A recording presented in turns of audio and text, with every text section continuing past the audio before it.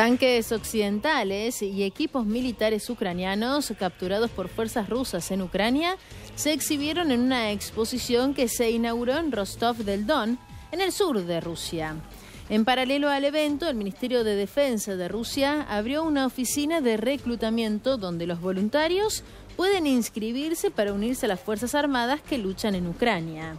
Tras los acontecimientos en la región de Kursk, el número de personas dispuestas a unirse al ejército ha aumentado. Esto lo dijo el sargento, un oficial de reclutamiento del ejército, Kirill Pakmohov.